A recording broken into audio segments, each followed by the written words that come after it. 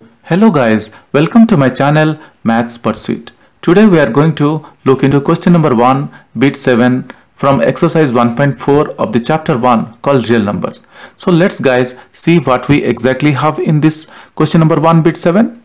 So coming to the question 1 Mm, bit 7 like it is given like without actually performing the long division. State whether the following rational numbers will have a terminating decimal expansion or a non-terminating repeating decimal expansion. So guys we are not going to perform any long division calculations. Just we need to determine whether the given rational number is a terminating or non-terminating. And here the given number is like 129 by 2 to the power square 5 to the power 7 and 7 to the power 5 so let's see how we can solve this question so coming to the solution.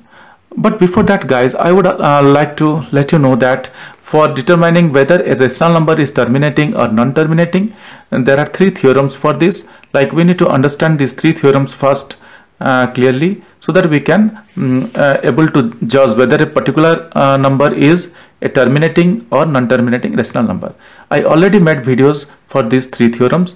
So if you haven't uh, gone through these videos, I would request you to kindly go through these videos so that you can get a clear picture how to determine whether number is a rational number terminating or non-terminating. So uh, let's see, move, let's move ahead. So whether the below rational number will have a terminating decimal expansion or a non-terminating repeating decimal expansion. This is what the question is and the given number is 23 by 2 to the power 2, 5 to the power 7 and 7 to the power 5. So looking at the question, we need to just determine whether the given rational number is terminating or non-terminating repeating decimal because it is clearly mentioned in the question. We are not going to do any calculations. So from the question itself, we are getting a very clear picture of the denominator. Um, no need to do further calculations. Because mostly uh, if for a rational number to be terminating or non-terminating the denominator gives us a clear picture. If we remember the theorems they always from the theorem uh, it is always clearly mentioned that if a rational number is terminating and a, like terminating then definitely its denominator should be of the form 2 to the power n and 5 to the power m. And if it is not terminating it should not be of the form 2 to the power n and 5 to the power m. And some extra things will be there so now looking at this denominator, uh, here we have uh, like 2 to the power 2, 5 to the power 7, but we have one extra number 7 to the power 5.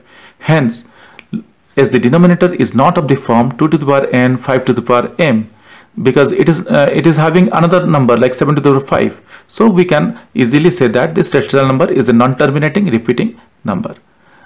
Hope guys you understood this uh, calculation or this judgment if you uh, still have any questions or concerns kindly reply back to me in the comment section of the video i will definitely get back to you once i see your comments if you really like my video kindly subscribe and let your friends know Thank you. Bye.